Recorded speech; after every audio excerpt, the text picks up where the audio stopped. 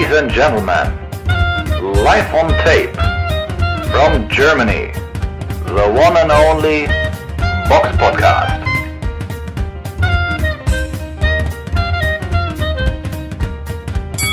Hallo und herzlich willkommen zum Box Podcast Ausgabe 307. Es ist der 1.8.2021. Heute mit dabei der Eugen Servus. Und frisch zurück aus dem Urlaub die Sari Samira. Kalimera. Hallo. Kalimera, ja. Passend. Habe hab ich das richtig ausgesprochen, oder? Ja, ich, ja, ja, so habe ich das auch immer gehört. Ich bin jetzt auch noch keine griechische Expertin geworden, aber da müsste ich länger da bleiben, ja. Okay, gut. Wir fangen wie immer mit dem Rückblick auf das vergangene Boxwochenende an. Der Box Podcast Rückblick aufs vergangene Wochenende. Da war eine Veranstaltung in England gewesen im Matchroom Fight Camp in Brentwood, Essex, United Kingdom. Eine Veranstaltung von Eddie Hearn, übertragen auf The Zone. Dort kämpften im Hauptkampf Kangju gegen Lee Wood.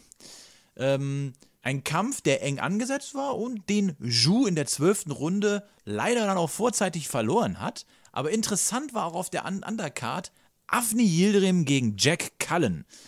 Jack Cullen ist ja bei diesem Kampf als Favorit in, äh, den, äh, ins Rennen gegangen und Samira, ich denke, seiner Rolle wurde auch sehr gerecht. Ja, auf jeden Fall. Also, ich bin ja noch nie so der Riesenfan vom Stil von Afni Yildirim gewesen. Also, er boxt ja, wenn man ihn einmal gesehen hat, dann weiß man ja auch ungefähr so, wie er boxt. Also, da gibt es jetzt auch nicht so eine großartige Entwicklung zu irgendwas anderem hin.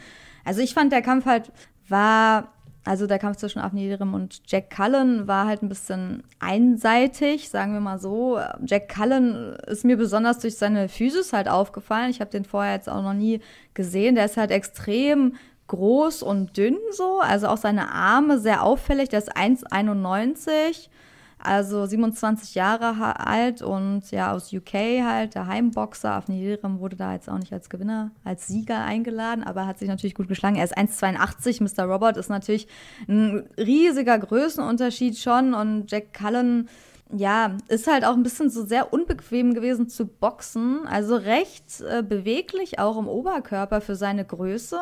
Seine Reichweite hat es ihm leicht gemacht, also auch mit seinem Jab immer dann aufwärts haken, irgendwie die richtige Distanz zu finden. Und er war echt variabel, also echt ein gut äh, anzusehener Boxer so, auch wenn ihm etwas die Power fehlt. Aber es ist halt klar, in, ähm, in diesem Gewicht, ne, dass es ähm, ja super Mittelgewicht mit dieser Größe da meistens mit dieser Physis, dass du dann nicht so viel Power hast. Auf jeden Fall kann ich eigentlich schnell zusammenfassend sagen, dass Jack Cullen eigentlich alle Runden außer die achte bei mir gewonnen hat. Der Kampf ging nur zehn Runden. Ähm, die achte habe ich auf Yildirim gegeben, weil er da einfach mal so ein bisschen die härteren Hände drin hatte und dann zwar manchmal mit zu viel Gewalt dann an den Gegner reingegangen ist, aber Cullen hatte dann auch ein bisschen Nasenbluten, hat sich die Runde ein bisschen ausgeruht so und sonst, ja, danach hat er wieder angezogen und sich die letzten Runden bei mir auch recht klar gesichert. Also ich habe da nicht viele enge Runden gesehen. Für mich war das ein klarer Kampf. 91 zu 99 für Jack Cullen, recht klar. Die Punktrichter haben es auch recht klar gesehen. 98, 92, 100 zu 90 und 97, 93 würde ich sagen, geht alles so in Ordnung. Mein Punkttotal passt auch rein und ja, von daher war ganz netter Kampf, aber ja, war jetzt auch nichts, was man vielleicht sich unbedingt, äh, was man unbedingt nachholen muss. Für Afni Yildirim natürlich jetzt auch so ein bisschen, ja, sein letzter Gegner war halt Canelo, ne? Also ich meine so. Ähm, Da komme ich bis heute nicht 27.02.. drüber hinweg. 2021. Korrigiert mich bitte, wenn ich falsch liege, aber Afni Yildirim ist für mich so ein bisschen der, der Andy Scheuer des äh, Boxens. Der kriegt irgendwelche Jobs, wo du auch denkst, was qualifiziert ihn dafür? Er hat guten Manager anscheinend, ne? Also, ich meine, das war ja schon, das ist ja, was Größeres geht ja gar nicht, ne? Als gegen Canelo in den Ring zu steigen, erstmal überhaupt von der Chance, zweitens einfach von seinem Payday und jetzt gegen halt Jack Cullen äh, äh, ist natürlich eigentlich für uns auf jeden Fall in Deutschland noch ein No-Name, hat jetzt nicht so, hat einen guten Rekord so für einen Engländer, aber ist jetzt auch nicht irgendwie ein Superstar, ne? Also 20, 2-1, also 20 Siege, 9 durch K.O., da sieht man schon, Power ist jetzt nicht übertrieben da. Zwei Niederlagen, ein Unentschieden, aber ist halt ein echt guter Boxer, so gutes Niveau. Aber das ist, geht natürlich jetzt down so, ne? Also Afni Yildirim wird jetzt äh, geholt, um sich aufzubauen. Und wenn er da schon so klar verliert, dann erwarte ich da jetzt auch nicht mehr so viel, ehrlich gesagt, von ihm, weil er hat schon ziemliche Konditionsprobleme gezeigt. Schon Mitte des Kampfes hat er, da hat man gesehen, irgendwie ist er auch nicht so richtig fit und so. Also der Gegner war viel fitter und deswegen. Aber trotzdem Respekt natürlich auf Matchroom, dass er da so eine Chance kriegt und sich da präsentieren kann auf The Zone. Muss man erstmal schaffen, ne? Also, ja, er wurde ja jetzt auch nicht verprügelt oder so, aber er konnte halt so technisch und so einfach nicht mithalten. So ist halt Mr. Robot, wisst ihr ja. Aber Rico Müller, der hat ein bisschen zu viel abgekriegt. ja, hm. wahrscheinlich, äh, wahrscheinlich schon, ja, das kann man so sagen. Das war halt schon so recht anderer Kampf, aber das war natürlich auch ähm, andere Vorzeichen bei Rico Müller gegen Anthony Fowler im Superweltergewicht. Ähm, Rico Müller ist ja auch als sehr spontan als Ersatzgegner eingesprungen gegen einen, ja, für uns auch noch nicht so bekannten Engländer. Also Fowler habe ich mir vorher noch nie angeguckt, aber auch echt äh, sehr, sehr lockerer Typ, sehr variabel im Ring, alles mit großer englischer Lockerheit sein Stil, also sehr schön anzusehen und sein Rekord ist auch so 15 Siege, 12 durch K.O., also hat schon ein bisschen mehr Power, hat man auch gesehen und eine Niederlage sogar schon drin, aber ich glaube, die schadet ihm nicht so gegen Scott, Scott Fitzgerald 2019 und ja, wenn wir jetzt auf den Kampf gegen, ja, Rico Müller hat einfach die Chance, hat er ja auch schon angekündigt vor dem Kampf, ne, in Social Media. Ich versuche einfach die Chance, so ist halt sehr spontan. Ich fahre hin zum Gewinnen. Also ich probiere natürlich mein Bestes, aber ja, da war halt dann natürlich auch schon, die Vorzeichen waren ja klar, dass er da irgendwie natürlich jetzt da so eine Sensation schafft. Ja, wäre sehr überraschend gewesen. Ähm, aber er hat gut gekämpft. Also am Anfang sah er für mich, finde ich, ein bisschen fest aus, hat natürlich immer, er hat ja seinen Doppeldeckungsstil so, na, trotzdem sind die Hände von Fowler dann auch durchgekommen, zumindest dann die, nicht die erste Jab vielleicht, aber dann der zweite oder dritte ist dann oft auch durch die Doppeldeckung durch. Äh, Anthony Voller hatte natürlich auch einen riesen Größen, Reichweitenvorteil, sehr guter Jab, hatte sehr gute Distanz, direkt in der ersten Runde, perfekte Beinstellung, Distanzgefühl, also da hat, bei dem hat wirklich alles gestimmt. Man hat auch gleich gesehen, er hat mehr Power und das ist auch so ein bisschen das Problem, glaube ich, gewesen. Rico Müller hat erstmal ein paar Runden gebraucht, also er hat schon mitgefeitet, also muss man echt sagen, er hat sich nicht versteckt, er hat sich auch nicht hingeworfen oder so, er hat sein Bestes versucht. Ähm, aber er ist halt natürlich technisch einfach limitierter. Fowler war die ganze Zeit dominanter. Die einzige Runde, die vielleicht so ein bisschen enger war, war die fünfte. So aus deutscher Brille ähm, könnte man die zumindest so unentschieden geben, wenn man möchte. Aber eigentlich zu Hause so natürlich auch, ähm, ja, an den Heimboxer. Und am Ende, ja, das Ende kam in der achten Runde durch TKO. Müller hatte dann auch schon ziemlich viel kassiert. Er sah auch schon dann ein bisschen mitgenommen aus. So sein Auge war angeschwollen und so. Aber es ist ja bei ihm oft so, ne? Linkes Auge angeschwollen. Er kassiert auch gegen Ponce und so war das auch schon so. Hinter seiner Doppeldeckung kommen halt dann trotzdem Treffer durch. Auf jeden Fall, ja, ist, Fowler hat sich einfach, man hat gesehen, er hat sich vorgenommen, ich finische den jetzt. Also er ist auf ihn dann zugestürmt plötzlich und hat dann einfach mehrere Schlagserien abgefolgt zum Kopf, zum Körper und irgendwann ist Müller einfach so kurz eingeknickt ähm, und der Ringrichter hat eigentlich zum perfekten Zeitpunkt für mich den Kampf abgebrochen, weil er davor einfach so 20 Hände oder so genommen hat. Nicht alle hart, aber trotzdem hat einfach zu viel kassiert, auch im Laufe des Kampfes. Es war so die Gesamtheit der Treffer, die dann kam. Man er ist nicht richtig zu Boden gegangen, aber er ist halt so kurz runter und ich dachte so perfekter Moment, das abzubrechen, weil es hat keinen Sinn. TKO, achte Runde. Voller war auch der deutlich bessere Mann, eigentlich jede Runde und von daher, er hat, er muss sich nicht verstecken. Müller hat gekämpft so, teilweise hat er auch Respekt, ne, auch von den The Zone-Kommentatoren bekommen, so für, für seine Leistung, weil er halt auch ab und zu ganz gut aussah, wie halt in der fünften Runde, auch so zum Körper getroffen hat, auch Haken, weil Voller seine Deckung oft hängen ließ und da nicht so beeindruckt war von der Schlaghärte. Aber war okay so, auch wenn er verloren hat, also ich habe schon schlechtere Performances gesehen von deutschen Boxern, von daher, ja, gute Besserung. Rico Müller auf jeden Fall. Dafür, dass man so spontan einspringt und vielleicht auch nicht 100% fit war, war es okay. Es tut mir noch äh, echt leid, Eugen, ich habe dich gerade äh, übergangen, weil du hast ja auch den Hauptkampf gesehen, äh, Kanju gegen Lee Wood. Was kannst du dazu sagen? Ja, dazu kann man im Grunde sagen, dass das schon ein sehr, sehr enger und, und schöner Kampf war. Clark Su jetzt nicht unbedingt mit der größten Punching Power ausgestattet und ich denke, ja, die Runden gingen so ein bisschen hin und her, fand ich. Mal hat Xu, mal Wood die Runden gewonnen. In der Mehrheit würde ich schon sagen, dass Wood die mehr Runden gewonnen hat und ja, hintenher und, und beide haben ja auch ähnlich viel getroffen und, und Wood hat halt, hat die, den Xu auch schon in der achten Runde so hat man schon gemerkt, dass der Xu so, so am Limit war. Und in der zwölften, ja, da war der einfach, der Tank war leer von Xu. Und ja, er ist runtergegangen und also er ist erstmal, aber bevor er runtergegangen ist, ist er quasi einmal noch einmal gestolpert, aber da sah man schon, dass, dass da nicht mehr viel da war. Dann hat er ihn runtergeschlagen und dann hat er eigentlich nur noch Wood of Xu eingeschlagen. Er hat sich schon noch verteidigt, Hände oben gehabt und so es muss man nicht abbrechen, aber so im gesamten Kontext, so dass der vorher schon so ein bisschen wirkte, der Xu, dass, dass das Gas nicht, oder dass der Tank ziemlich leer war und dass er wahrscheinlich auch nicht nach Punkten hätte den Kampf bekommen, ist der Abbruch, finde ich, schon auf jeden Fall vertretbar gewesen und, und grandiose Leistung von Lakewood. Der Xu ist nicht so einfach zu schlagen, also das war schon, schon klasse. Und vielleicht noch zu dem zweiten Hauptkampf, das war Tommy McCarthy gegen Chris William Smith. Das Ding endete in einer SD, wo ja Chris William Smith das Ding gewonnen hat. Da ging es gleich ja um den UU-Titel, um den BBC-Titel. Das ist halt, oder BBB auf British Cruiserweight Title halt, oder der Commonwealth-Titel.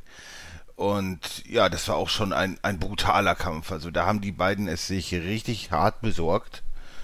Ich weiß gar nicht, wer der jetzt wirklich gewonnen hat. Es war einfach brutal eng. Ich denke, mit dem Draw wären beide ganz gut äh, dran gewesen, aber so hat Chris William Smith das Ding halt knapp bekommen, was ja, was schon okay war, aber es ist halt super eng, ne? Und von daher kann man das Ding gerne nochmal machen, aber war auch ein klasse Kampf. Der Kampf, der wahrscheinlich für uns am interessantesten gewesen wäre, war ja der Kampf zwischen Conor Ben und Adrian Granados gewesen. Der hat leider nicht stattgefunden aufgrund einer Covid-19-Infektion bei Conor Ben. Aber aufgeschoben ist nicht aufgehoben. Ich bin mal gespannt, wann der dann nachgeholt wird. Ein anderer Kampf an diesem Wochenende fand in Amerika statt. Der war in New Jersey im Prudential Center in Newark gewesen. Übertragen wurde der von USA Fox. Und dort kämpfte im Schwergewicht Michael Polite Coffee gegen Jonathan Rice. Jonathan Rice war ein Ersatzgegner, der für den auch an Covid-19 erkrankten oder positiv getesteten äh, Gerald Washington eingesprungen ist. Und ich habe ein kleines Déjà-vu bei diesem Kampf gehabt, denn es war noch nicht allzu lange her, ich glaube, es war 2018 oder 2019, da war ein kleinerer, dickerer Mexikaner, auch kurzzeitig eingesprungen für einen anderen Hauptgegner und bums wurde der auf einmal Weltmeister. Dieses Mal ging es allerdings nicht um eine Weltmeisterschaft, aber Jonathan Rice besiegte den aufstrebenden Michael Polite Coffee durch TKO in der fünften Runde und wie auch Eugen gerade schon bei dem anderen Kampf gesagt hat, meine Güte, haben die sich eingeschenkt. Das waren so zwei, oh, sind die, 1,96 beide, beide gut um die 120 Kilo, aber die haben sich Bomben gegeben, leck mir am Arsch. Da, da ging es richtig gut zur Sache. Und was mir sehr gut bei diesem Kampf gefallen hat, war, dass äh, Fox quasi die klaren Treffer unten im äh, Display immer eingeblendet hat. Und man konnte wirklich, ja, so ab, ab Runde 3 konnte man richtig sehen, wie so der, der Score-Count bei, bei Jonathan Rice hochging, der hatte am Ende, glaube ich, über 20 mehr klare Treffer drin im Gegensatz zu Coffee. Und in der fünften Runde hat er sich so eine gefangen am Auge, dass der auch fast ja, unfähig war, wirklich sich äh, zu wehren. Und von daher finde ich, ist der Abbruch durch den Ringrichter in Ordnung gewesen. Jonathan Rice hat sich äh, echt gut präsentiert. Ich meine, er hat zwar schon sechs Niederlagen vorher im Rekord drin, aber mal ganz ehrlich, wer eine UD oder sag mal, schafft die vollen zehn Runden gegen Efe Ajakba zu stehen. Der hat schon, kann schon mal was. Ähm, ein TKO gegen Aslam Mak Makmudov, das ist okay. Ja, der ist ähm, ja halt auch stark. Ne? Eine UD, ja, ja, muss man auch einfach sagen. Eine UD gegen Tony Yoka, eine Steven Shaw. Der, also, der ist besser, als sein äh, Rekord ihn aussehen lässt. Und ähm, meine Güte, also, das war schon, das war schon echt echt gut gewesen. Also hat, hat mir echt gefallen, war eine Überraschung gewesen. Ich bin ja sowieso pr prinzipiell immer für den Underdog. Und Coffee, ja, der muss jetzt, jetzt auf jeden Fall nochmal analysieren, was ist falsch gelaufen. Ich meine, der Mann hatte jetzt gerade mal zwölf äh, Kämpfe als Profi gehabt. Ich glaube, genauso viele Kämpfe als Amateur und ist äh, schon 35. Also so viel Zeit hat der auch nicht. Aber interessant anzusehen war es. Ich kann es auf jeden Fall jedem empfehlen. Kommen wir zur Vorschau. Die Box Podcast Vorschau auf kommende Kämpfe. Und da ist eine Veranstaltung am Donnerstag, auch wieder ein ungewöhnliches Datum, im Madison Square Garden in New York City. Übertra da, dort ist eine Veranstaltung von Ludi Bela und übertragen wird sie von USA Fight, F-I-T-E. Ich vermute mal, wahrscheinlich auch der deutsche Ableger Fight wird das dann übertragen, aber genaues weiß ich da jetzt nicht. Dort kämpfen unter anderem im Weltergewicht Eric Walker gegen Ivan Golub um den vakanten USBA-Weltergewichtstitel. Michael Hunter kämpft gegen Mike Wilson um den vakanten WBA Continental America, Americas Heavy Title und mal wieder da oder seit langem mal wieder da im Weltergewicht. Chris Algeri kämpft gegen Mikel Le, Lepierre, ein Boxer aus Trinidad und Tobago. Muss ich zugeben, sagt mir jetzt nichts. Bei Boxrec ist er im super Leichtgewicht geführt.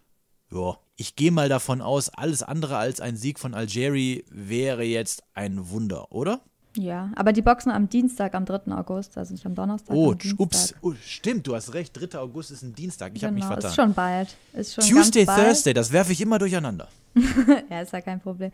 Aber ist auf jeden Fall, also mich hat der Name einfach überrascht, so. Also ich meine, den letzten Kampf hatte Chris Algieri, also hatte den letzten Kampf am 1.6.2019 gegen Tommy Coyle, hat er gewonnen und danach hat er eigentlich seine Karriere beendet gehabt und war eigentlich noch recht präsent, einfach als Kommentator, ne? zuletzt auch auf The Zone. Und ähm, also man hat ihn halt oft einfach außerhalb des Rings gesehen. Und ich glaube, er hat auch irgendwie sich mit sehr viel mit Ernährung und so beschäftigt, ne? so gesunde Ernährung oder so. Auf jeden Fall ist mir das so im Hinterkopf geblieben auf Social Media, ähm, dass er da auch irgendwie so hinterher ist, ist auf jeden Fall interessant, dass er überhaupt wieder boxt. Ich meine, ich habe ihn immer gerne mir angeguckt.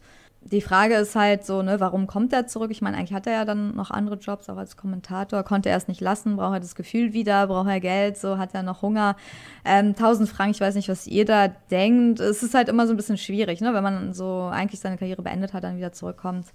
Ha, Weiß ich Meistens nicht so. ist es Geld. Meistens man, ist ja, es Geld. Ja, genau. Und du wirst ja auch älter, so ob du da immer so besser wirst. Aber man muss sehen, das ist ja jetzt auch erstmal ein Gegner, der jetzt wahrscheinlich ihn nicht vor so große Probleme stellen wird.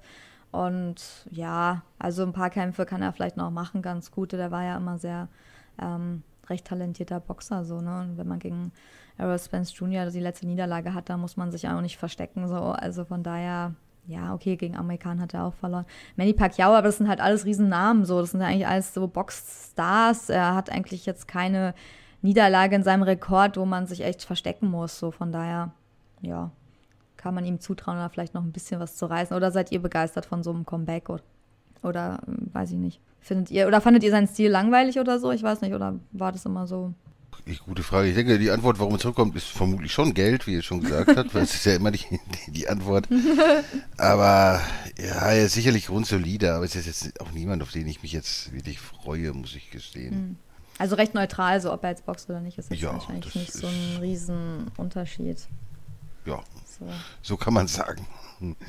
Ach so, ich habe auch gerade mal gegoogelt, wie alt er ist. Ja, okay, er ist 37, also ja, da, da muss man sich aber anhalten. Ja, genau, da wird wahrscheinlich seine Karriere jetzt auch nicht mehr so lange gehen. Ne? Vielleicht ja, ist irgendwo Gerade in der Gewichtsklasse.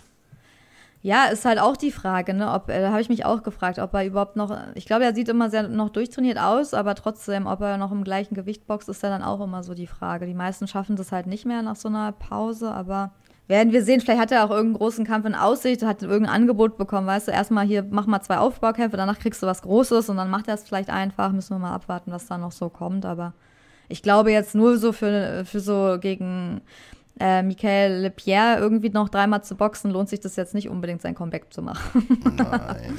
Ja. Er wird den einen großen Zahltag noch anstreben oder relativ großen und dann dann war es das auch mit ihm. Also ich kann mir nicht vorstellen, dass aufgrund seines Styles und so dann auch irgendwie groß was kommt. Ansonsten ganz erstaunlich, dass es im Madison Square Garden stattfindet. Das ist ja doch ein, ein Event, von, wo jetzt nicht unbedingt die großen Stars boxen. Ne? Gar nicht.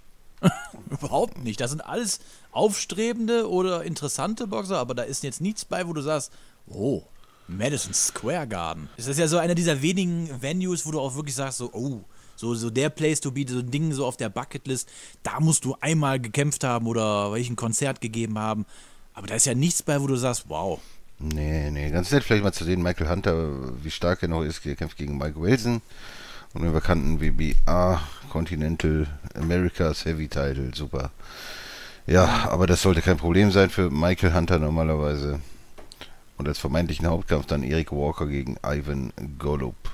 Eine andere Veranstaltung findet am Freitag, den 6. August in Nordirland in Belfast statt. Da ist eine Veranstaltung von Bob Arum und übertragen wird sie von USA ESPN Plus. Dort kämpft Michael Conlon gegen TJ Doheny im Super Bantam, Lee McGregor gegen Vincent Legrand um den EBU europäischen Bantam-Titel, im Super Leichtgewicht Tyrone McKenna gegen José Felix um den vakanten WBO Intercontinental im Super Leichtgewicht ja, ist eine nette Veranstaltung, kann man sich angucken. Und eine andere Veranstaltung noch am kommenden Samstag, auch von Matchroom im äh, Fight Camp in Brentwood, Essex. Dort kämpft im Federgewicht Kit Galahad gegen James Dickinson um den vakanten IBF-Titel im äh, Federgewicht. Im, auf der, Im Schwergewicht Fabio Wortley gegen Nick Webb um den äh, britischen He Heavyweight-Titel. Ist auch auf jeden Fall ein interessanter Kampf. Wortley ist ganz gut anzusehen. Äh, bin ich gespannt, wie der sich macht. Ähm, Alan Babbage gegen Mark Bennett, auch noch im Schwergewicht. Übertragen wird alles auf The Zone. Kann man sie also, wenn man ein äh, The Zone-Abo in Deutschland hat, sich auf jeden Fall angucken. Kommen wir zu den Hörerfragen. stellen Fragen und wir beantworten sie. Und auf die freue ich mich heute echt besonders, weil wir haben echt tolle Fragen reingekriegt. Dafür erstmal ganz, ganz, ganz, ganz großes Dankeschön. Der Blünti hat uns gefragt, habe heute eine Folge von euch geguckt, wo ihr über Doping gesprochen habt. Meine Frage wäre, sollten die deutschen Boxer mehr bzw. auch dopen, damit sie international was erreichen können? Ha. Ha, das, das ist eine gute Frage. ja. Wenn es wenn's so Skill wenn es so Skill-Doping gäbe, äh, ja. Also ich glaube nicht, dass deutsche, deutsche Boxer mehr oder weniger dopen als andere. Vielleicht tun sie es vielleicht ein bisschen weniger professionell, wenn man, wenn man sich so sieht, wenn man sieht, wer so alles erwischt wurde von den deutschen Boxern. Das waren ja doch eine Menge. So in der Vergangenheit oder in den letzten Jahren. Und ich weiß ich nicht, also es ist einfach so, dass es einen gewissen Mangel an Skill gibt und den kann man natürlich nicht unbedingt mit, mit Mitteln ausgleichen. Man kann sich schon gewissermaßen steigern, so dass man auf zwölf Runden Vollgas geben kann und dass man gut in Form ist und dass man das Gewicht bringt und so weiter. Das sicherlich schon und das ist sicherlich ideal gedopt zu sein, bringt natürlich auch in den Kämpfen den entscheidenden Vorteil. Das ist ziemlich sicher so. Es ist nur die Frage, ob es halt wirklich was was bringt generell. Also es bringt immer was, sagen wir so, aber wenn der Skill Ob's nicht vorhanden ist, bringt. ja, und wenn der Skill nicht so vorhanden ist, dann lässt es dich vielleicht halt nochmal als Journeyman zwei Runden länger stehen oder so. Aber ob das so der Gesundheit so, so zuträglich ist, weiß ich nicht. Aber ich, also ich, das, man kann es ja auch zusammenfassen, also wenn man sich die Boxer so anguckt, alles, was unnatürlich aussieht an, an Muskulatur und so, ist, ist im Regelfall auch unnatürlich. Und äh, ja, das ist auch so, wenn man sich so manche Boxer anguckt. Bei Felix Sturm fand ich, die Muskulatur sah jetzt auch nicht unbedingt immer so ganz natürlich aus. Ähnlich äh, auch bei Alvarez, der ja auch gewisse Erfahrung hat mit Steaks und so. und äh, ja, aber das ist ja, ist ja auch, wie soll ich sagen, im Sport ist ja generell so ein offenes Geheimnis, dass einfach gedopt wird. Und es gibt eigentlich keine Sportart, die wahrscheinlich frei von von, von Doping ist. Das gibt es einfach nicht. Ne? Jetzt haben wir die Olympiade in so einem 100-Meter-Finale. Glaubt der ernsthaft jemand, dass da irgendeiner sauber ist, der da im Finale ist? Aber auch vielleicht auf die Frage vom Blünti rein, nochmal reinzugehen. Also ich denke, deutsche Boxer müssten, wenn dann dieses eine Dopingmittel haben, das denen die Schlagkraft gibt von einer Flugabwehrkanone, damit, damit quasi der, ich nenne das jetzt mal der mangelnde Skill, damit auch überkompensiert ausgeglichen werden kann. Ich kann nur kurz nochmal was dazu sagen für Leute, also auf jeden Fall kann ich allen unsere Doping-Folgen, glaube ich, sind schon mehrere, empfehlen. Und wer sich halt für Doping so interessiert im Sport, da kann man ja immer bei der ARD ganz gut von Hajo Seppelt so ein paar ähm, Doping-Folgen sehen. Ich glaube, zuletzt war auch sehr spannend. Der hat ja immer so Geheimsache Doping. Könnt ihr euch alle googeln, mal gucken. Auf jeden Fall kam halt raus, dass es bestimmte Fälle von Doping gibt, dass Leute, die halt Sportler, die nicht gedopt haben, aber trotzdem positiv getestet wurden, weil die einen sehr flüchtigen Hautkontakt mit jemandem hatten, dass das halt jetzt quasi die neue Problematik ist, dass du halt als Sportler, wenn dich jemand halt quasi ja, wenn der einen positiven Dopingtest, wenn der dich ausschalten will, sagen wir mal so, dein Rivale will dich ausschalten, er beauftragt irgendjemanden, sich kurz irgendwie an die Schulter zu tippen, hat irgendeine Substanz auf den Fingern und dann wirst du halt positiv auf Doping getestet, obwohl du gar nicht gedopt hast und du kannst es halt nicht beweisen. Das ist halt jetzt die Grundlage sehr schwierig, weil sonst mussten ja Leute, die positiv getestet werden, immer irgendwie beweisen, dass sie halt unschuldig sind. Aber die Frage ist halt, ne, wie beweist man sowas? Weil merkt man überhaupt, mit wem man so Körperkontakt hat, mit wem nicht? Also das sind halt immer so neue Sachen, die dann halt noch in, diesen, in dieser Doping-Problematik dazukommen, die auch ganz spannend sind, falls ihr euch dafür interessiert. Ich finde das das Thema sehr spannend. Ähm, und wo man halt dann wirklich gar nicht mehr weiß, ne? Also soll man jetzt alles frei, äh, sollen jetzt alle frei dopen können, weil man kann es ja eh nicht kontrollieren oder versucht man überhaupt noch diesen Kampf anzugehen, ne? Mit der Anti-Doping-Kommission. Äh, das ganze Anti-Doping-System wird ja dadurch auf den Kopf gestellt, weil wie, wie soll man da noch irgendwas machen, ne? Oder beweisen? Wie soll man noch unterscheiden? Wurde der, also hat er selbst gedopt, war jemand anders äh, da tätig und so? Also ich weiß nicht, ob ihr davon gehört habt, aber ich finde das sehr, sehr spannend auf jeden Fall. Auch sehr traurig eigentlich, ne? Dass das schon so leicht geworden ist irgendwie. Ja, du hast vollkommen recht, du hast vollkommen recht. Es ist auch, du hast auch, ist auch ein interessantes Thema.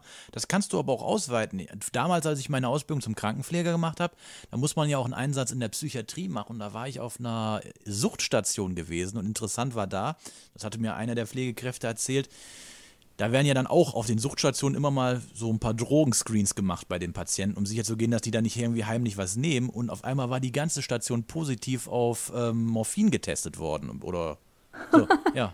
Was war passiert? Es gab Mohnbrötchen. ja, Morphin wird ja aus, Ach, Mo aus, aus Mohn gewonnen. Aber wie gesagt, das ist schon ewig her. Ich, ich glaube, mittlerweile dürften die Tests differenzierter sein. Aber du konntest damals ja. auf jeden Fall dann da durchfallen. Oder beim Doping, was wir ja auch in den Folgen besprochen haben, ist ja zum Beispiel, du kannst ja auch mit ganz üblichen äh, Medikamenten auch durch einen Dopingtest fallen, zum Beispiel mit Medikamenten wie HCT, Furosemid etc., alles so entwässernde Medikamente, die heute oft eigentlich in erster Linie bei ja, ich nenne das jetzt mal, bei, bei Herzerkrankungen oder Bluthochdruckerkrankungen eingesetzt werden, kannst du aber auch halt gut zum Verschleiern von ähm, von Dopingmitteln benutzt und damit fällst du ja auch durch den Dopingtest durch. Ja, es gibt tausende Sachen. Aber es ist halt schon krass, dass du Leute halt so leicht auch da positiv, also ja, also, dass du Leute quasi deine Konkurrenz so ausschalten könntest, wenn du irgendwie kriminelle Energien hast. Ne? Das ist halt krass. Und derjenige kann es halt gar nicht beweisen. So, das ist halt wirklich schon sehr, also das ist ein Riesenproblem. Das ja. ist wirklich ein Riesenproblem. Du kannst ja nicht, du musst dich dann in so einen Anzug anziehen oder so, dass sich keiner mehr berührt und so. Ist ja auch oft so, ne? Bei Boxern ist es ja auch so, dass kurz vorm Kampf manche geben keinen mehr die Hand, weil sie dann an, Angst haben, sich noch zu infizieren. Jetzt mit Corona sowieso, ist ja, ja klar, aber auch schon davor, ne? Dass sie einfach keinen Hautkontakt mehr mit Leuten haben. Oder sich nicht, ihr eigenes Wasser mitbringen. Ja, genau, weil die dann auch auf Nummer sicher gehen. Aber vielleicht machen wir noch mal irgendwann eine aktuellere Doping-Folge, weil das ist ja jetzt auch ganz aktuell gewesen, äh, wo wir über die neueren Sachen reden. Ja. Vielleicht kriegen wir den Heinz mal wieder dazu. Ja, genau. Das wäre interessant. Und ansonsten kann man sich vielleicht auch noch hier, was gibt es auch hier von ARD oder vom WDR Sport in Zeit, da kommt auch manchmal sehr interessantes auch äh, zum Doping äh, Leute, die mit äh, Security-Autos durch die Gegend fahren und da, ja, in Deutschland nicht so unbekannte, die da, ne, die, also, da gibt es schon sehr interessante Sachen oder auch so die Klassiker mit, mit Sturm und wie er zu seinem Titel gekommen ist damals und das ist schon sehr, sehr interessant, was die manchmal so berichten. Also da wird halt schon sehr, sehr viel Schmuh gemacht, allgemein im Sport, das das, das gerade, gerade Sportarten, wo man es nicht denkt, zum Beispiel Fußball ist auch extremst Doping verseucht. Da wird auch nur relativ schwach getestet und teilweise interessiert es auch keinen. Ich meine, Sergio Ramos ist, weiß nicht, zwei oder dreimal mehr oder weniger positiv erwischt worden. Es interessiert niemanden. Sperren gab es auch nicht wirklich. Also, es juckt halt keinen, ne? Es ist halt, gehört halt zum, zum guten Ton, so, ne? Nur bei den Radfahrern ist man immer gleich wieder empört. Aber das ist halt eine Sportart, wo es halt nur um körperliche Leistungsfähigkeit geht und da ist es halt nochmal verbreiteter als jetzt vielleicht im Tischtennis oder so. Mhm. Wenn du nicht Tischtennis spielen kannst, dann nützt ja der beste Doping der Welt nicht. Ne? Und, und ob es dir in dem Sport so viel nützt, weiß ich nicht. Aber es gibt halt Sportarten, wo es mehr oder weniger hilfreich ist. Und beim Boxen, wo du natürlich alles brauchst, Regeneration, Ausdauer, Kraft, da ist es natürlich schon auch sehr, sehr hilfreich. Bleiben wir mal beim deutschen Boxen. Da hat uns der Detlef auch eine Frage gestellt. So, er schreibt erstmal, bleibt so, wie ihr seid. Wir haben nicht vor, uns zu ändern. Danke. eine Frage für die nächste Folge. Meint ihr, dass ein Boxer von der boxerischen Klasse, aber auch Persönlichkeit eines Maske, Rocky oder Michalczewski den deutschen Boxsport in der heutigen Zeit wieder salonfähig machen könnte? Oder liegt der Absturz des deutschen Boxens noch an ganz anderen Dingen als an der boxerischen Klasse der hiesigen Fighter? Schwierig, aber ich würde sagen, die Antwort ist ja also wenn wir eine charismatische und sportlich interessante Persönlichkeit hätten, ähm, denke ich auch schon, dass derjenige den Weg auch wieder ins Fernsehen finden würde.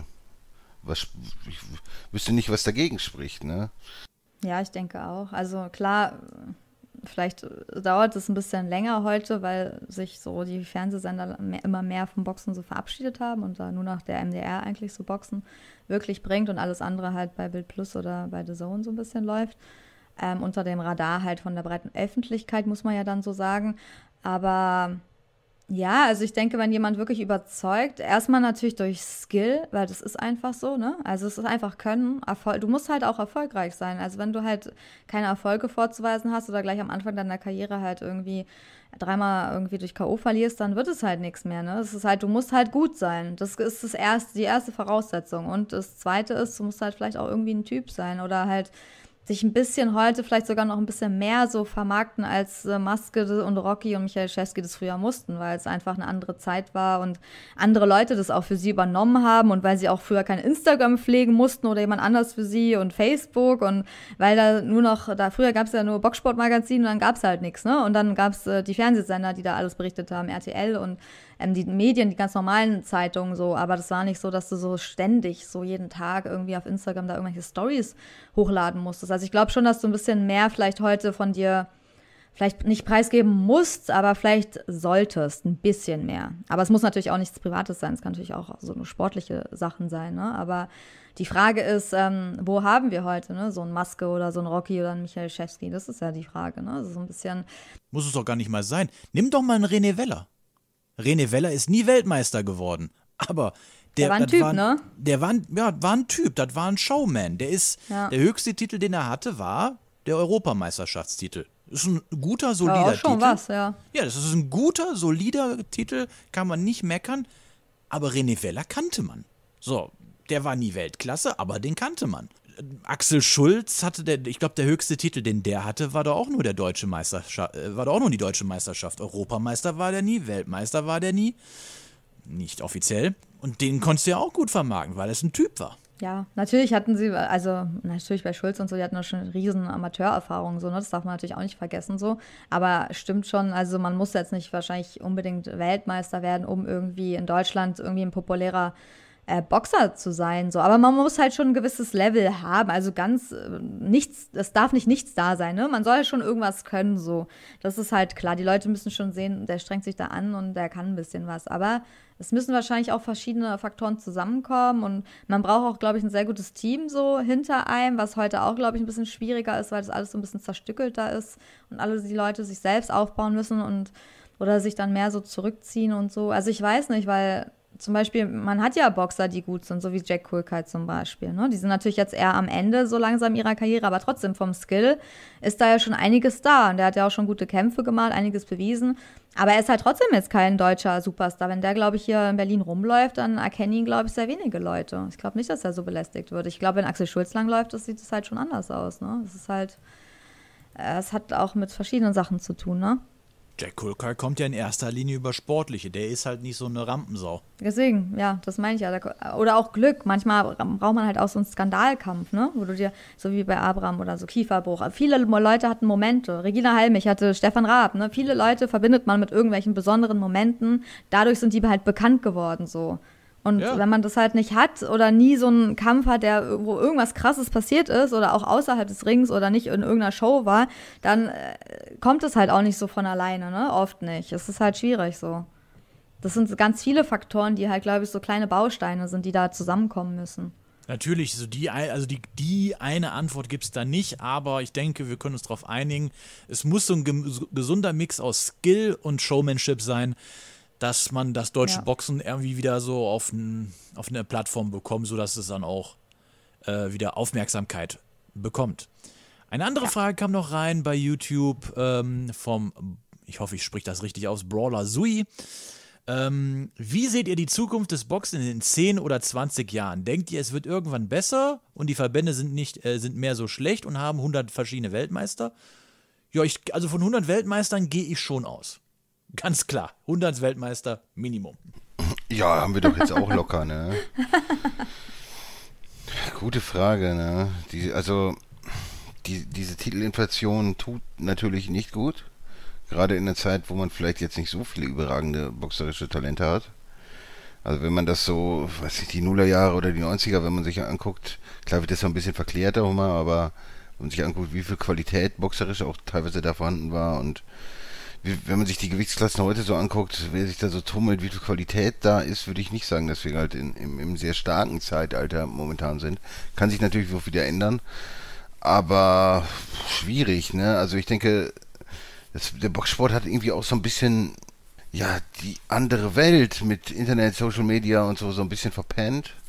Und es ist einfach auch nicht gut. Das tut dem Boxsport nicht gut. So, es, vielleicht kommt jemand ähnlich wie Dana White im UFC halt daher und, und vereint mal so wieder so ein bisschen, bisschen was, dass wirklich mal irgendwo ein Champion gibt oder dass da irgendwie was in der Richtung passiert, äh, das wäre sicherlich erstrebenswert, ne? dass, dass man da wieder so ein bisschen näher zusammenrückt, weil momentan wird halt immer nur irgendwie über große Kämpfe geredet, aber wirklich viel Großes passiert eigentlich nicht, außer jetzt vielleicht im Schwergewicht, wo, wo, wo es schon jetzt Duelle gibt, aber viele Duelle kommen ja einfach nicht und das, das, das ist ja auch das, was den Sport so kaputt macht. Ne? Aber es gibt Typen wie Ryan Garcia oder so, die, die sicherlich äh, ja schon irgendwie äh, Fame haben, überall erfolgreich sind und, und sicherlich auch die Leute wieder fürs Boxen begeistern können. Es kommt halt auf die Persönlichkeiten auch, auch dazu noch drauf an. Da darf es natürlich auch ähm, Leuten, Leute, die interessant sind für die Masse und wenn es da wieder welche gibt, und das werden sicherlich viele versuchen, dann, dann wird das Boxen auch wieder für den Mainstream interessanter. So, ne? Aber schwierig zu sagen. Also, wir haben leider keine Glaskugel. Und ich, ich, ich würde mir da wenig zutrauen, da genau, eine genaue Prognose abzugeben, weil vielleicht ist in, in 20 Jahren ist es auch ganz schlecht bestellt ums Boxen. Das ist, finde ich, kaum, kaum möglich, das irgendwie vernünftig zu prognostizieren. Oder habt ihr da eine Idee, wie das aussehen könnte? Nein, können wir gar nicht. Überleg doch mal, wenn du überlegst, so, wenn man so Folgen von vor fünf, sechs Jahren von uns anhört, da waren wir ja schon am Denken, oh, ist aber ganz schön hier am Absaufen. Und wenn du das dann so vergleichst, war 2015 ja eine herrliche Zeit quasi. Wir haben einfach immer zu hohe Ansprüche anscheinend, keine Ahnung an die Zeiten. Aber ich, ja, es hat ja auch immer so ein bisschen was mit so gesellschaftlichen Strömungen vielleicht auch zu tun, ne? in bestimmten Ländern oder Diskussionen, Debatten, die so geführt werden. Ich meine, ähm, manchmal denkt man halt, manchmal denke ich auch so, irgendwie passt Boxen dann manchmal wirklich nicht mehr so perfekt so in die Zeit, wenn dann auf der anderen Seite so in den Medien immer darüber, über die richtige Wortwahl, über das Gendern in der Sprache geredet wird. BoxerInnen, weil also auch in, den, in der Tagesschau, dass halt das so extrem halt schon auf ja. die Sprache ge geachtet wird, dass schon das so wichtig geworden ist. Also nicht für alle, natürlich für einen bestimmten Teil oder die halt bewusst machen, dass man darauf achten soll, dass man denkt, okay, wenn schon bei Sprache das so krass ist, dass, und Boxen repräsentiert halt immer noch genau so dieses Gegenteil von, äh, von Reflexion und Reflektiertheit ja. und von reflektierter Sprache. Und da sind ja noch so dieses Archaische wird ja gelebt, ne? Oft auch natürlich von Männern ja. und Männersprache. Und da wird ja eigentlich gar nicht auf sowas, auf Feinheiten geachtet. Und damit daran genau. ist man auch gewohnt in der Boxwelt. Ne? Das gibt's ja da gar nicht. Deswegen clasht es, clasht es so aufeinander derzeit. Also finde ich, habe ich so manchmal das Gefühl, sind so zwei verschiedene Seiten irgendwie manchmal. Voll, richtig, richtig. Vollkommen unterschiedliche Welten, in denen man sich da bewegt. Aber trotzdem funktioniert die UFC-Welt noch ziemlich gut. Und da ist es ja auch genauso ja. archaisch, ne? Und, ähm, genau. Aber auch in Deutschland meinst du? Also meinst ja, du, naja, zumindest in den USA oder so, so weltweit. Ja, das ist halt die Frage, ne? Ob es auch in und, Deutschland ist, so ist. Und die Leute, die da drin sind, die sind auch zum Teil halt archaischer. So, das ist halt so. Ja. Und sicherlich ist Boxen an sich ist eine hochgradig unanständige Sportart. Da schlagen sich Leute ins Gesicht und erleiden Schäden dadurch. Es geht ja darum, auch ja, den Gegner zu verletzen. Kampfsport halt, ne? Wenn man sich so anguckt, was das Boxen mit den Menschen macht und wie kaputt manche Boxer sind, das ist schon übel. Und ja, anständ, anständig ist es nicht. Also so gesehen Nicht immer halt. Also Ja. man muss es schon, also wir müssen es natürlich, ich liebe diesen Sport, aber man muss ihn natürlich reflektiert und differenziert betrachten. Ne? Man kann ihn halt nicht schöner reden, als er ist und immer ist er halt auch nicht gesund, so wie halt jeder Profisport ungesund ist. Aber ich meine halt, vielleicht, ich kann mir auch gut vorstellen, dass es gerade, der Zeitgeist war ja nicht immer so, auch mit Sprache, mit Reflexion, mit äh, äh, diesen ganzen Bewegungen, ne? Dann die Bewegung, dann die nächste. Jeden Monat ist ja gefühlt eine andere Bewegung, die auf sich aufmerksam macht und eine andere Sprache fordert und mehr Achtsamkeit. Und ist ja auch nicht schlecht so. Man ist ja auch ganz nett so, dass manche Leute auf sich aufmerksam machen. Aber ich meine nur, es kann sein, dass irgendwann die Leute so viel also, dass es irgendwann zu viel wird, dass die Leute irgendwann denken, okay, wir haben jetzt so viel auf Achtsamkeit geachtet oder sollen das so krass, dass sie sich halt so ein bisschen wieder diesem Gegensatz zuwenden, weißt du? Dass sie dann denken so, okay, wir wollen jetzt doch wieder das Archaische haben und deswegen der Boxsport vielleicht wieder ein bisschen populärer wird, wenn man denkt, okay, ähm, normalerweise muss ich mich halt immer so verhalten und so reden und korrekt und so. Also,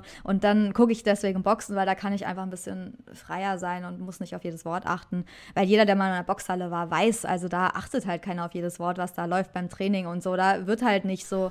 Das ist ja Es auch. passt ja bei keinem Sport, oder? Selbst beim Fußball ist das halt nicht so. Da wird halt nicht so drauf geachtet. Das ist halt Sport, so. Da musst du halt angetrieben werden. So. Da kannst du halt nicht so. Ja, kannst du bitte jetzt noch mal ein Ja, Sit-Up ja. machen? Alle Boxer, BoxerInnen, könnt ihr jetzt ein Sit-Up machen? Also, weißt du, so kann man da halt nicht reden. Da muss halt Arsch hoch und weiter. So, das läuft halt anders. Genau.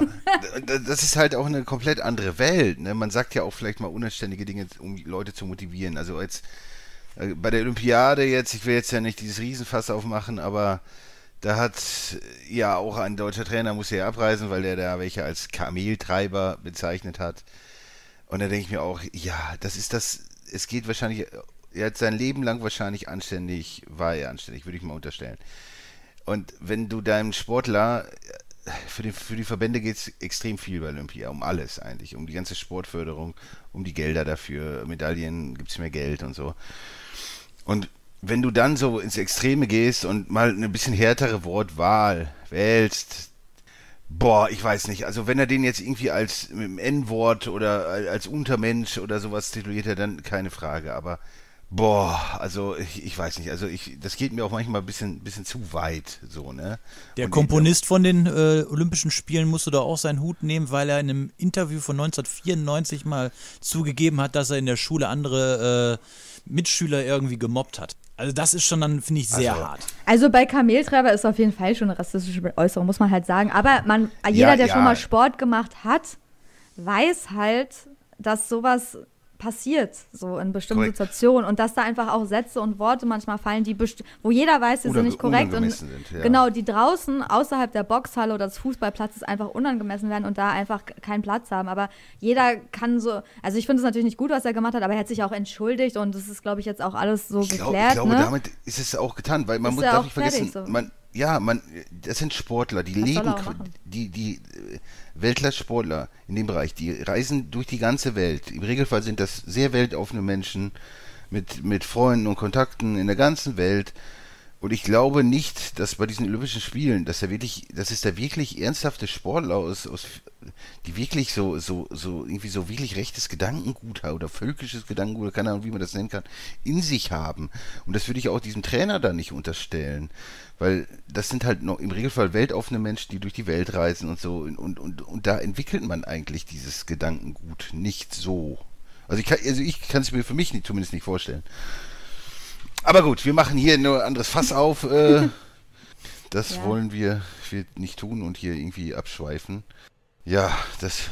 Aber manchmal ist es ja auch einfach schön, diese Gegensätze im Leben zu haben, ne? Also, dass man sich da so Ja. äußern kann und da so und jeder weiß halt, wo man sich wie äußert und dann ist das auch in Ordnung so. Oder dass man vielleicht mehr darauf achtet, ist ja auch in Ordnung so. Aber man muss halt auch nicht immer vielleicht jedes Wort auf die Goldwaage legen. Aber es ist, finde ich, auch in Ordnung, wenn man jemanden zu einer Entschuldigung fordert, wenn er einfach mal Scheiße geredet hat. Ist halt so. Aber dann ist es, finde ich, auch gegessen. Dann hat er sich entschuldigt und dann muss man auch nicht mehr drüber reden, weil was soll er noch machen? Ich meine, äh, mehr kann man ja gar nicht fordern. Entschuldigung Und reicht man ja darf dann auch nicht vergessen, man darf auch nicht vergessen, äh, Twitter ist nicht das reale Leben. Überhaupt nicht. Also die Realität, ich kenne solche Menschen nicht, die, die alles hundertprozentig korrekt gegendert haben wollen und es gibt keine Schwangere, Ja. es gibt nur irgendwie austragende Personen. Äh, äh, ja, und also, man, also man, wenn man das, ja, aber man kann das Ganze auch so ein bisschen übertreiben und wenn man das übertreibt, dann bewirkt man, glaube ich, auch so das Gegenteil. Natürlich. Ich meine, ich kann den Ansatz von Gendern kann ich gut verstehen. Ja. Aber Gott, ich bin Mitte 30, ich bin so nicht aufgewachsen. Das ist für mich jetzt auch neu. Ich muss mich da auch dran gewöhnen. Und ganz ehrlich, ich, ich kann nicht jedes Wort auf die Goldwaage legen und das will ich auch gar nicht. Weil du, wenn man, wenn man diesen Anspruch hat, alles nur richtig zu machen, dann kannst du nur ganz groß scheitern. Ja, und in einer modernen, aufgeklärten Welt sollte es doch eigentlich klar sein, dass ein Mensch ein Mensch ist, kein Mensch ist per se irgendwie mehr wert als ein anderer oder sowas. Das ist ja, ich, ich kenne keine Leute, die so denken. Also in meinem, ich finde, ich, ich kenne solche Leute nicht. Vielleicht lebe ich da irgendwie in einer anderen Blase oder so, aber ich, keine Ahnung. Aber egal, wir wollen nicht abschalten und beim Boxen, keine Ahnung. Äh, wie gesagt, wir haben keine Glaskugel, wie sich das entwickelt. Ne? Ich fürchte tendenziell nicht gut. Aber vielleicht kommt ja irgendwo, irgendwo, ja, irgendwo mal so ein Dana White her oder, oder irgendwer oder es gibt irgendwie eine Bewegung, das irgendwie alles mal ein bisschen zu verbessern, weil, weil so ist es der Weg, zumindest insbesondere in Deutschland, irgendwie schon in der Weg in den Abgrund, ne, für, für den Sport. Ja, überhaupt, auf der ganzen Welt. Ich meine, da Ja. wird doch. Also, wenn, wenn Boxen eins immer gut kann, dann ist es unbeirrt weiter so. Äh, auch wenn es wenn, auch wenn sich zeigt, dass es momentan eigentlich eine falsche Richtung ist. Ich meine, wenn jetzt die WBC noch die, das Bridgerweight einführt, da die, die WBA seit Jahren davon labert, dass sie die Weltmeistertitel ver, äh, äh, verringern wollen und dann auf einmal noch einen Goldtitel einführen. Also ganz ehrlich, meine Erwartung ist niedrig, ich kann also somit nicht enttäuscht werden. Aber bevor wir wieder abschweifen und uns über sich schlagende Personen anstatt von Boxern reden, kommen wir zu den Nachrichten. Nachrichten. Da haben wir eine Nachricht und da hat unter anderem auch Regina Halmich in der Abendzeitung München drüber gesprochen. Und zwar sieht es so aus, Leon Bau hat auf Instagram ein Video veröffentlicht, wo er bekannt gibt, dass er sich jetzt erstmal eine Weile von der Bildfläche verschwinden wird, weil er eine Thera äh, Quatsch, weil er eine Therapie annimmt, weil er eine Diagnose erhalten hat. Er sagt aber jetzt nicht direkt, um welche Erkrankung es sich äh, handelt. Vermuten, zu vermuten ist es allerdings, dass es sich wahrscheinlich um Depression oder Burnout oder irgendwas in der Richtung handelt. Ja, genau. Ich kann ja noch mal kurz sagen. Also ich war ein bisschen, also er hat vor einer Woche ungefähr hochgeladen. Wir hatten ihn ja auch schon als äh, Interviewgast, so könnt ihr euch mal anhören, falls ihr das noch nicht gehört habt, die Folge. Sehr Ähm, angenehmer Zeitgenosse. Ja, cooler Boxer so. Wir haben uns ja schon öfter so, auch ich glaube intern auf jeden Fall gefragt, so wann boxt er wieder. Da war es ja ziemlich ruhig auch um seine Karriere. Er hat ja teilweise auch recht viel auf Social Media gemacht, dann hat er teilweise auch bei YouTube was gestartet und so. Ähm, aber halt stand halt recht lange nicht im Ring und das war jetzt mal so ein anderes, also es war wirklich ein ganz anderes Video. Ich dachte auch so, hä, sehe ich jetzt richtig so? Es war halt komplett emotional. Leon Bauer, siehst du, ihm geht's halt nicht besonders gut, beziehungsweise ihm fehlen auch am Anfang die Worte, so um zu beschreiben, glaube ich, wie er sich fühlt. Also ihm geht's da, er hat sehr lange gebraucht, um irgendwie ähm, zu sagen, was er sagen wollte, aber eigentlich hat er auch im ganzen Video nie wirklich die Diagnose, also seine Krankheit genannt. Also das ist halt wirklich auch, ähm, deswegen kann man da halt nur so ein bisschen vermuten. Ich hatte so gleich so das Gefühl, okay, das ist wahrscheinlich Burnout, Depression. Es geht so in diese Richtung, weil das Video halt so ist. Könnt ihr euch gerne mal angucken. Könnt ihr auch was Nettes drunter schreiben, ihm gute Besserung wünschen. Auf jeden Fall hat er halt gemerkt, dass er anscheinend irgendwie Hilfe braucht und hat sich jetzt anscheinend auch Hilfe gesucht. Also das kann man ja eh nur jedem raten, der merkt, dass er da ähm, einfach überfordert gerade ist. Und da kann man jetzt eigentlich auch nur Regina Halmich zitieren. Die hat halt in der Abendzeitung München gesagt, gerade hat, gerade hat Gerade erst hat der Boxer Leon Bauer ein Video von sich gepostet, in dem er erklärt, dass er an Depression leidet, dass er sich jetzt Hilfe suchen wird. Also sie geht davon aus, dass er Depression hat. Vielleicht weiß sie da auch schon mehr. Deswegen, ähm, wir wollen jetzt hier nicht irgendwelche Gerüchte verbreiten, aber es geht so in die Richtung. Er hat es halt nicht konkret genannt, aber sie geht halt davon aus, dass es Depressionen sind und vielleicht ähm, Erstmal wird man wahrscheinlich erstmal nichts mehr hören, aber vielleicht kommt er wieder zurück. Wir hoffen, dass er irgendwann wieder im Ring steht und so äh, äh, uns gute Kämpfe liefert und ähm, Vielleicht machen wir nochmal irgendwann ein Interview. Auf jeden Fall wünschen wir ihm alles Gute und ähm, auf jeden Fall sehr mutig überhaupt über so ein Thema oder einfach so ein bisschen, er hat ja auch Schwäche gezeigt, so ein bisschen, ne? Oder einfach Schwäche. Was heißt Schwäche? Wenn man Gefühle zeigt, ist ja auch keine Schwäche. Eigentlich ist es Stärke, wenn man Nein. Gefühle zeigt, ne? Ja. Das muss man erstmal können. So ein bisschen vor der Kamera. Also sich so zu zeigen, ist eigentlich stark und deswegen Respekt, dass er überhaupt so ein Video gemacht hat und ja, ich hoffe, dass wir ihn, dass es ihm hilft, dass er sich einfach mal ein bisschen Ruhe nimmt, weil wenn du immer so präsent sein musst, ich glaube, das ist auch und dann immer so dieses High Life und weißt du so auch wie Ryan Garcia ist ja ähnlich. Ich meine, der hat auch zugegeben, ähm, glaube ich, dass er Depression hat, hat sich auch ein bisschen zurückgezogen. Wenn du so immer dieses Bild so transportieren musst, ich bin so erfolgreich und so geil und ich bin Boxer und ich habe 20 Autos und bei mir läuft alles geil und 100 Frauen und so. Also ist ja so ein bisschen alles so, ne? Dann bin ich bei YouTube, dann bin ich bei Instagram. Podcast, genau. Es, die, viele Leute denken halt, dass das irgendwie alles so dazugehört, so, aber es kann auch irgendwann so zu viel sein, wenn man auch, man kann halt nicht auf zehn verschiedenen Hochzeiten tanzen, ne? Wenn du Nein. Boxer bist, konzentrier dich aufs Boxen so. Und wenn du gut bist, dann hol dir ein Team, hol dir Leute, die dir Arbeit abnehmen. Das, das sollte man eigentlich machen. Und Ja. lies auch nicht jeden Social Media Kommentar, wo du fertig gemacht wirst und jede Nachricht und so.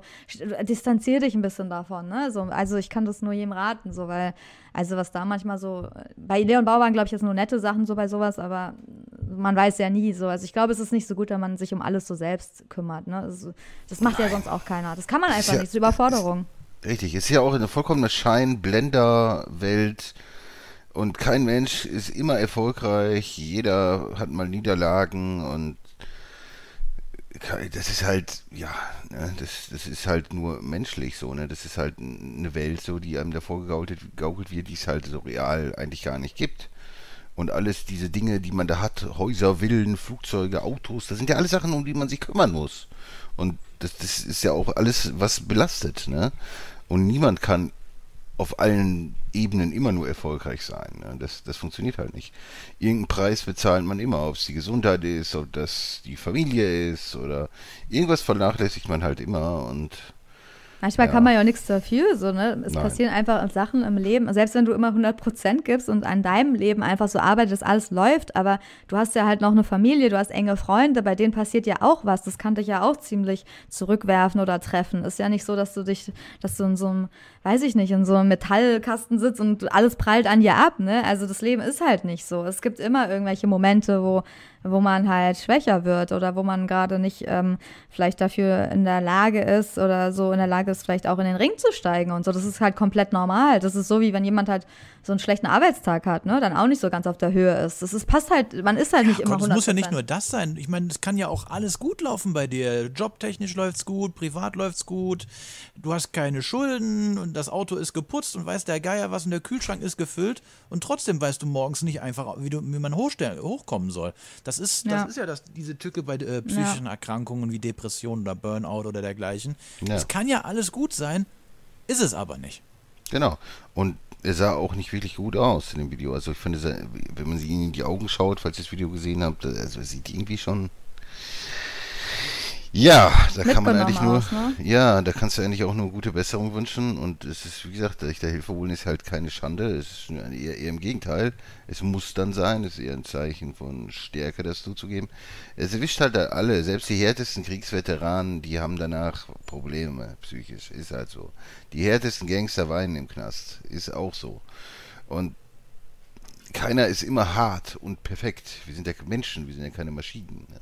Wäre ja auch nicht schön irgendwie, ne? Also Nee. ich meine, auch wenn bei immer hart, also ich weiß nicht, manchmal weiß man ja, es gehört dazu, diese Show da zu fahren, aber wenn man sich vorstellt, dass die dann jeden Tag so sind und immer, dann wäre das irgendwie auch unsympathisch. Also finde ich auf jeden Fall. Es wäre unmenschlich, ne? So Mr. Robot wäre dann so, keine Ahnung, es wäre halt cool. Es wäre einfach merkwürdig. Jeder weiß, dass es nicht so Ich ist, glaube aber es auch Afni. Yildirim weint manchmal. Ja, genau, ich glaube auch, der Mr. Rod weint. Ja, ja, glaube ich auch, aber die Leute reden halt nicht darüber. Müssen sie halt auch nicht, aber im Endeffekt müsst ihr euch merken, alle, alle haben mal irgendwelche, alle schwächeln mal oder haben halt irgendwelche Probleme. Das ist ganz normal. So ist Und es. ist keine Schande, sich Hilfe zu holen. Genau. Genau, auch die härtesten Kämpfer, die härtesten Warrior, die viel gefressen haben und die echt männlich sind, auch die verdunkeln am sonnenreichen Tagen vielleicht mal ihr Schlafzimmer, weil die einfach solche Probleme haben mit Sonnenlicht oder das ist einfach so. Alles hat Folgen und irgendeinen Preis bezahlen man und ja, und es kann jeden treffen, jederzeit. So, bevor wir uns jetzt noch weiter da reinreiten, würde ich sagen, beenden wir diese Folge für heute. Es hat uns sehr gefreut. Äh, Wenn ihr noch irgendwelche Fragen habt, stellt sie uns. Die Fragen heute waren wirklich klasse, super toll, dass ihr uns die gestellt habt. Wir hören uns beim nächsten Mal wieder. Bis dahin, macht es gut, bleibt gesund. Bis dann. Tschüss. Ciao. Ciao, ciao. The one and only Box Podcast. New episodes every week. Follow us on Facebook, Instagram, YouTube, iTunes Music and Spotify. Boxpodcast.de